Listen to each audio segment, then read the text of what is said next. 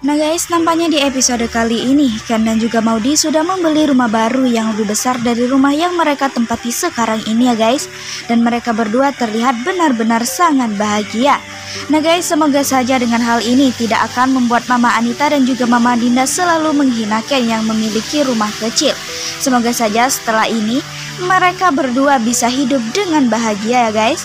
Dan nampaknya mereka membeli rumah ini karena hasil kerja keringat keras mereka sendiri ya guys. Kira-kira apa yang akan terjadi di episode selanjutnya? Saksikan kelengkapan ceritanya di sinetron Love Story setiap hari hanya di SCTV. Dan Mimin pastinya akan update terus info-info terupdate lainnya di sini. Terima kasih.